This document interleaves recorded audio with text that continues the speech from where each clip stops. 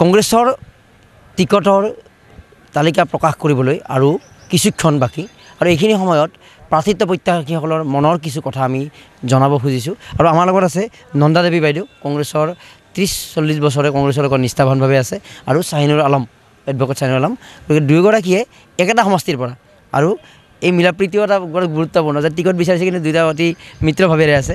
প্ৰথম এইটো কথাই জানি লওঁ যে আপোনাৰ ব্যক্তিগত সম্ভাৱনা কাৰণ আপোনাৰ ৰাজনৈতিক শত্ৰু কিন্তু কাষতো আছে। মই ৰাজনীতিক শত্ৰু বুলি নাভাবোঁ এয়া মোৰ ভাই হয়। কংগ্ৰেছৰ তেওঁলোকেও সক্ৰিয় কৰ্মী তেওঁলোকেও বাই বাৰ্থ সকলোৱে কংগ্ৰেছ কৰি আছে। গতিকে মই এটাই ভাবোঁ আমাৰ মানে আমাৰ কেইজনমানৰ মাজত আমাৰ খুবেই মিলা প্ৰীতি আছে যিয়েই না আমি নাপাওঁ কিয় টিকেটটো। আমাৰ এটাই আমাৰ লক্ষ্য যে এইবাৰ বিলাসীপাৰা পূব সমষ্টিটো আমি বিজেপিৰ পৰা কংগ্ৰেছক উদ্ধাৰ কৰিব লাগে। প্ৰাথমিক মন্তব্য মন্তব্য লৈ লওঁ আপোনাৰ পৰা। একেই বাইদেউ বাইদেউ কোৱা কথাটো মোৰ ডিমত একোৱেই নাই। কাৰণ বিজেপিয়ে যি অত্যাচাৰ আৰু অন্যায় কৰি আছে ৰাইজৰ লগত অকল কংগ্ৰেছৰ কেণ্ডিডেট বুলিয়ে নহয় প্ৰত্যেকটো ৰাইজ প্ৰত্যেকটো জনসাধাৰণ আজিৰ দিনত ভুক্তভোগী। চ' আমি আমি যে কেণ্ডিডেটবিলাক একেলগ হৈ আছে স্পেচিয়েলি বাইদেউৰ লগত এটা মোৰ ভাল যিদিনাৰ পৰা গম পাইছোঁ যে বাইদেউ কংগ্ৰেছৰ পৰা বিচাৰিছে সেইটো বিলাচীৰ পৰা বাইদেউক মই মানে ভাল লাগিছে যে নাৰী নাইবা আজি নাৰী শক্তি বিৰাট এটা ডাঙৰ শক্তি। চ' ইয়াত অপজিশ্যন আপুনি এটা কথা ক'লে যে মানে ৰাজনৈতিক শত্ৰু ইয়াত শত্ৰুতা বোলা একো নাই। কাৰণ টিকেট প্ৰতিদ্বন্দ্বী শত্ৰুতা বোলা ইয়াত একো নাই। আমি চবে মিলি কংগ্ৰেছ কৰি আমাৰ বিজেপিৰ এই অন্যায় আৰু অত্যাচাৰৰ পৰা আমাক মুক্ত কৰিব লাগিব সেইটোৱে আমাৰ প্ৰথম উদ্দেশ্য। আৰু মই বিছ বছৰৰ পৰা কংগ্ৰেছ কৰি আছোঁ। এন এছ ইউৰ পৰা ষ্টাৰ্ট কৰি বিভিন্ন পৰ্যায়ত মই কাম কৰিছোঁ কংগ্ৰেছৰ হৈ। ইণ্ডিয়ান ইউথ কংগ্ৰেছৰ ভাৰতীয় জাতীয় কংগ্ৰেছৰ ইলেকশ্যন কমিশ্যনত মই প্ৰথম কাম কৰি পাঞ্জাৱ ভাৰতবৰ্ষৰ বিভিন্ন ৰাজ্যত গৈ মই কংগ্ৰেছৰ হৈ কাম কৰিছোঁ। চ' মোৰ এটা আশা আছে আৰু চবে ৰাজনীতিটো নিজৰ এটা ইচ্ছা থকাৰ কাৰণেহে কৰে। আৰু সমাজখনক আগুৱাই লৈ যোৱাৰ কাৰণে মই ভাবোঁ মোৰ নিচিনা শিক্ষিত যুৱক মই নিজে বাই প্ৰফেশ্যন হাইকোৰ্টৰ অধিবক্তা হওঁ।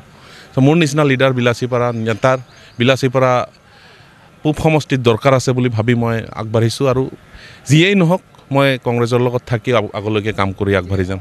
আপুনি ত্ৰিছ চল্লিছ বছৰ ধৰি আছে আৰু আমি যিমান দূৰ জানো কংগ্ৰেছৰ আহ, পলাশবাৰী সমষ্টিৰ আপুনি অবজাৰ্ভাৰ বা কি কয় বা ইনচাৰ্জ হিচাপে আছিলে বা বিভিন্ন সময়ত জালুকবাৰী সমষ্টিত বহু কাম কৰিছিলে।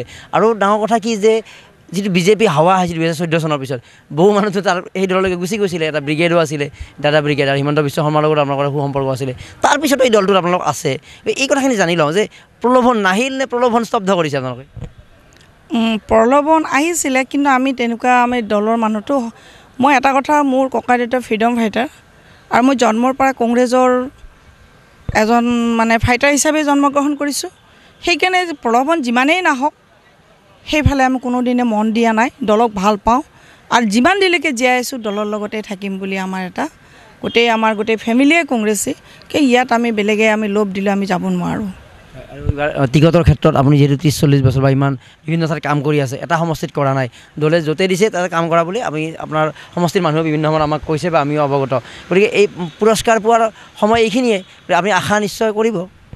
নে সেইটোতো হয় বহুত ডাঙৰ কথা। আমি সকলোৱে আশাবাদী কিন্তু মোৰ কথাটো অকণমান ব্যতিক্ৰম।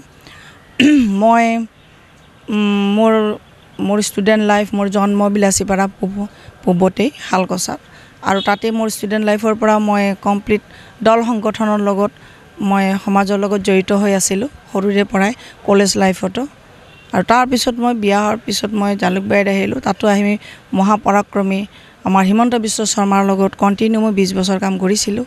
তেখেতৰ লগত কৰাৰ পিছত তেখেতে যেতিয়া আমাৰ দলক বিশ্বাসঘাতকতা কৰিলে তেখেতে নিজে বচাবলৈ গৈ পেলাই বিজেপিত যোগদান কৰিলে তেতিয়া মই তেখেতৰ লগত কোনো সহযোগ নকৰিলোঁ আৰু মই নিজৰ দলতে থাকিলোঁ। আজি মই আকৌ বিলাচীপাৰাৰ ছোৱালী হিচাপে বিলাচীপাৰাত মই দাবীদাৰ হৈছোঁ আৰু মই দেশৰ মোৰ নিজৰ দেশখনক মই ভাল পাওঁ। মই পঁচিছ বছৰে যিটো ঠাইত আজিলৈকে বিলাচীপাৰাত আমাৰ কোনো কংগ্ৰেছৰ আজিলৈকে কংগ্ৰেছৰ কংগ্ৰেছে উদ্ধাৰ কৰিব পৰা নাই। মই তেতিয়া ভাবিলোঁ যে নাই নিজৰ কাৰণে নিজৰ ঘৰখনৰ কাৰণে নিজৰ দেশৰ কাৰণে মই নিশ্চয় এইবাৰ চেলেঞ্জ কৰিব লাগিব। আৰু মই তাতে সিংহী যিজন আমাৰ বিজেপি তেওঁ যিটো আৰম্ভ কৰিছে তেওঁ অত্যাচাৰ হিটলাৰী তেওঁৰ প্ৰশাসন আমাৰ যিটো আমাৰ গোটেই বিলাচী ৰাইজ অতিষ্ঠ হৈ গৈছে। আমাৰ হিন্দুবিলাকে তেওঁক বহুত ভালভাৱে আশা কৰি বিজেপিক ভোট দিছিলে। আজি সেই দিন নাই আৰু। আজি সেই চিংহিক আৰু মানুহে ভাল নাপায় সেই বিজেপিক দলৰ ভাল নাপায় মোহ ভংগ হৈছে। আৰু তেওঁৰ যিটো হিন্দু মুছলিমৰ ৰাজনীতি আজি এই সময়ত আৰু মানুহে নিজেও বুজি পাইছে যে আমি কিমান ভুল কৰিলোঁ এই বিজেপিক আমি ভোট দি পেলাই। আজি আৰু সেই দিন নাই। আৰু প্ৰত্যুত্তৰ দিব এইবাৰ আমাৰ আমাৰ নিৰ্বাচন আহি আছে দুহেজাৰ একৈছত নিশ্চয় অসমৰ ৰাইজে গম পাব। বিৰেশ্বৰ পূব সমষ্টি কংগ্ৰেছৰ দখললৈ আহিব। চৰকাৰ কাৰ হ'ব আৰু কিয় হ'ব? চৰকাৰ কাৰ হ'ব মানে নিশ্চয় কংগ্ৰেছৰে হ'ব। আপোনালোকে গমেই পাইছে। যোৱাকালি আমাৰ বি টি চি প্ৰধান মানে এতিয়া প্ৰাক্তন প্ৰধান তেখেতো আহি গ'ল। চ' সহ্য কৰাৰ এটা সীমা থাকে। চবে সহ্যৰ বাহিৰত আহি গৈছে। আৰু কংগ্ৰেছৰ চৰকাৰ মহাগঠবন্ধনৰ চৰকাৰ হোৱাটো নিশ্চিত। হয়। বিজেপিয়ে বহুত টকা পইচা দি আছে স্কুটি দি আছে লাখ লাখ টকা দিছে। গতিকে নিৰ্বাচনৰ সময়তো এইবিলাক কথা নিশ্চয় অলপ মনত থাকিব ৰাইজৰো। নাই এইটো বিজেপি দিয়া নাই ন? এইবিলাক আমাৰ কংগ্ৰেছ চৰকাৰৰে আঁচনি। এই নতুন বস্তু একো ওলোৱা নাই বিজেপি চৰকাৰে। মানুহে এইটো নতুনকৈ ঢাক ঢোল বেছিকৈ বজাইছে।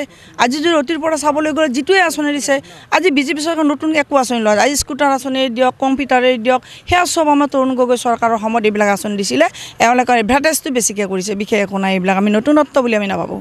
ঠিক আছে। আৰু শেষত কি ক'ব? সমষ্টিবাসীক যদি টিকট লাভ কৰে আপোনালোকৰ দলৰ হকে আপোনাৰ হকে বা আৰু সহযোগী যিসকল আছে সেই তেওঁলোকৰ প্ৰতি এটা আহ্বান মোৰ এইটোৱে সকলোকে মোৰ যিখিনি প্ৰতিদ্বন্দ্বী আজি পোন্ধৰজন আছে মোৰ ভাগ্যকে আছে যদি মই টিকেটটো পাওঁ মই সকলোকে লৈ মই এটা কথাই কৈছোঁ আপোনালোকে বা তোমালোকে কেতিয়াও নাভাবিবা বাইদেৱে টিকেট পালে।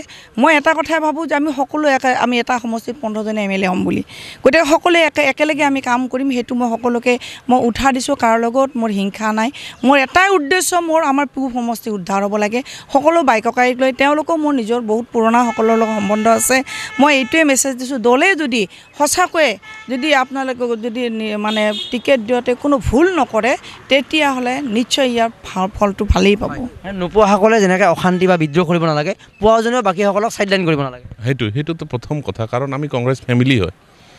ফেমিলিৰ কোনোবা এটা মানুহে যদি টিকেট পায় আৰু বাকীকেইটা ফেমিলি মেম্বাৰে বেয়া পোৱাৰ ইয়াত কথাই নাই যদিও সেইবিলাক বিদ্ৰোহ বহুত ঠাইত বহুত ক্ষেত্ৰত হয় কিন্তু আমি স্পষ্টভাৱে মই কৈছোঁ আজি বিলাচীপাৰাত মই সেইটো কাম কৰিব নাযাওঁ আৰু মই জনা যিখিনি আমাৰ লগত কেণ্ডিডেটছ আছে সিহঁতক সেইটো কামৰ পৰা মই বিৰত থাকিবলৈ অনুৰোধ জনাম মই। যিজনে পায় তেওঁ সকলোকে সমানে চাব লাগে চাব লাগিব সেইটোতো নিশ্চয় চাব লাগিব আৰু যদি নাচায় কোনোবাই তেতিয়াহ'লে তাৰ সেইটো নিজৰ পাৰ্চনেল কথা আৰু মই ভাবোঁ সেইটো চালে বেছি ভাল হ'ব তেতিয়াহ'লে আমাৰ ইউনিটিটো সদায় চিৰজীৱন থাকি যাব।